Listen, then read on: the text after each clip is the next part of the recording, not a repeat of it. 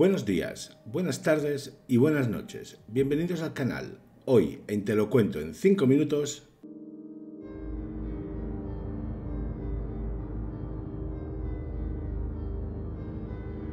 Hoy, encontrada en un hospital, tenemos Pesadilla en Elm Street 3, Guerreros del Sueño, film dirigido por Chuck Russell y protagonizada por Heather Langenkamp, Patricia Arquette, Craig Wason, Robert Englund y Lawrence Fishburne, con una duración de 96 minutos del género terror, fue estrenada en 1987. Todo empieza con la adolescente Kristen Parker. Ella se va a dormir, mientras su madre está de fiesta con un amiguete. Entonces sueña con el atractivo Freddy Krueger, que la persigue. ¿Quién no querría eso? La cosa es que finalmente la ataca en el cuarto de baño pensando que está despierta y haciendo que parezca que se cortó una de las muñecas. Creyendo que Kristen no está muy fina de su cabecita, su madre la ingresa en el hospital psiquiátrico Westin Hills, cuidada por el doctor Neil Gordon. Ya, en el hospital, Kristen lucha contra los enfermeros que intentan sedarla porque teme quedarse dormida y, claro, volver a tener esas pesadillas. Nancy Thompson, su terapeuta, aparece en escena y al parecer la calma y se hace amiga de ella recitando parte de la canción infantil de Freddy Krueger cosa que no veo muy lógica, pero bueno, ella es su terapeuta y sabrá lo que es mejor. Entonces, Nancy conoce al resto de los pacientes del Dr. Gordon. Ahora vamos a conocerlos nosotros. El primero es Philip, un sonámbulo habitual. Kincaid, un chico de la calle algo agresivo. Jennifer, ella quiere ser actriz de televisión y le gusta quemarse con cigarrillos. Will, que usa una silla de ruedas debido a un intento de suicidio.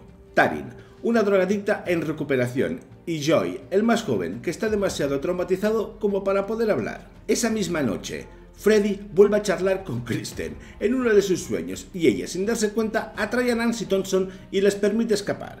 Kristen revela que ha sido capaz de atraer a la gente a sus sueños desde que era más pequeña. Durante las próximas noches, Freddy ataca de nuevo usando a Philip el sonámbulo como un títere y arrojándolo desde un tejado al suelo, acabando hecho un cromo y a la noche siguiente ataca a Jennifer, rompiendo su cabeza contra el televisor. ¿No querías acabar en ella? Pues ya estás dentro. Bienvenida al éxito. Una monja, la hermana Mary Elena, que da bastante grima, por así decirlo, le dice al doctor en el funeral que Freddy es el hijo de una joven del personal del hospital que accidentalmente fue encerrada en una habitación con cientos de pacientes mentales, que abusaron de ella continuamente, y la única manera de matarlo es eliminarlo junto a sus huesos. En la sesión grupal, Nancy le revela a los pacientes que son los últimos jóvenes de Elm Street, los hijos sobrevivientes de aquellos que se unieron y quemaron a Kruger hasta la muerte hace muchos años.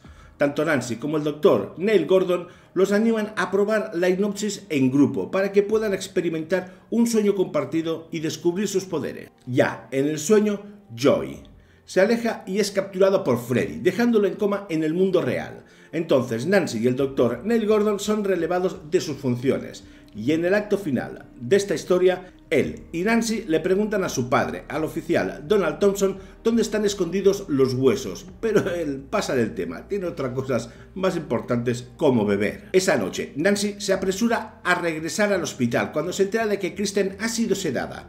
Intenta convencer al oficial que está en un bar y borracho de que los ayude, Nancy y los demás vuelven a la hipnosis grupal para reunirse con Kristen, pero Freddy hace que se separen. Una vez convencido, el agente Thompson, él y el Dr. Nell se dirigen a buscar los huesos de Freddy enterrados en el desguace. Tarin lucha contra Freddy en un callejón, pero finalmente es asesinada. Will, usando sus poderes mágicos, también lo intenta, pero al igual que Tarin, caen en la batalla, mientras que Kristen, Nancy y Kincaid se reencuentran. El trío rescata a Joy, pero no puede derrotar a Freddy debido a las almas que ha absorbido y lo hace aún más poderoso.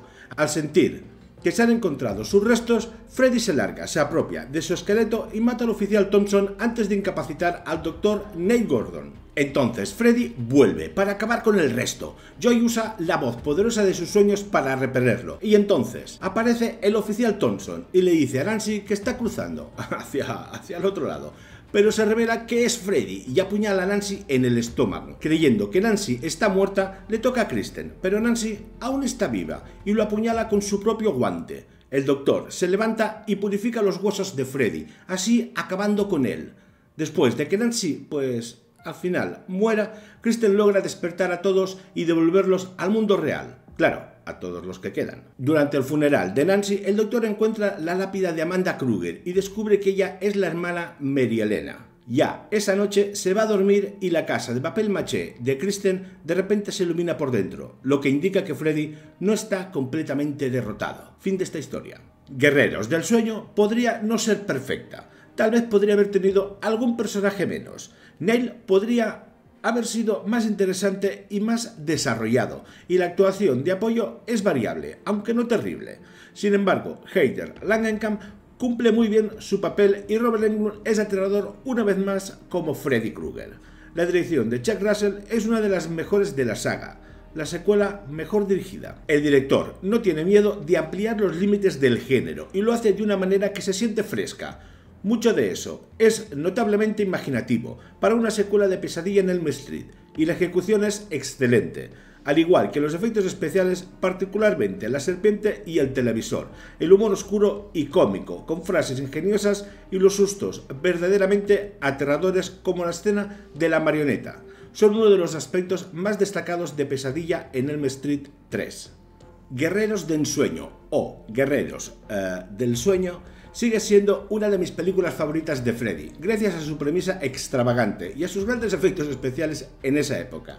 Para mí sigue siendo uno de mis muchos recuerdos de la infancia que, después que finalmente pueda verla completa, me pregunto por qué tenía miedo. Sin embargo, recuerdo que es el miedo a no tener control sobre los sueños, lo que me recuerda a Freddy. Freddy es exactamente tan mordaz y sarcástico como esperábamos, y lanza ingeniosas frases antes de brutalizar a los jóvenes. Honestamente, esto podría ser el pico de Freddy. Toma una premisa genial y original de la primera película y la arruina.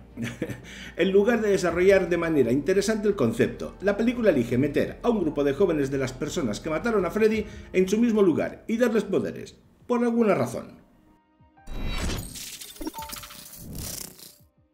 Mi valoración de pesadilla en Elm Street 3, Guerreros del Sueño, es de un 7 sobre 10. Esta película es un buen regreso a la franquicia.